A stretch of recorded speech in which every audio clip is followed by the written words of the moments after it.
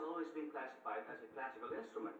And I wanted to show our friends uh, who are watching us right now that the violin can also play other kinds of music like rock, jazz, Dixie. Jazz. Flexibility. Mhm. Can the violin do something about the environment? Well, no, but the violinist can. That's you. Can it?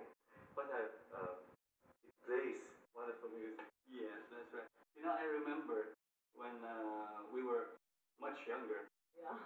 Wait, John, wait a minute. Don't go there yet. Okay. Tell me all about the Haribon Foundation. Oh, yeah.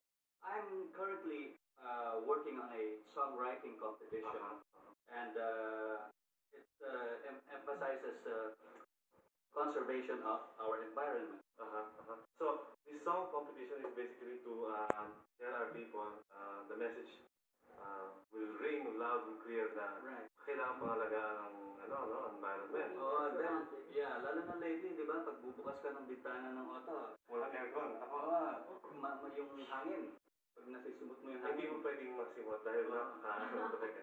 So, going back to what we said kanina, andyan hindi pa pinapanganak ko eh. We grew up together in the same neighborhood, di ba dyan? Right. Area 1. Uh, what was it in the environment that made us become musicians? Well, it might have been the pure air that we breathed then.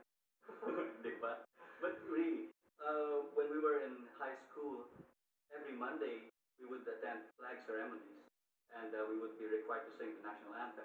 Yeah. And Ryan would be playing the piano. The official piano. Mm-hmm. Pero naingit ako sa'yo, lumaki na ako eh.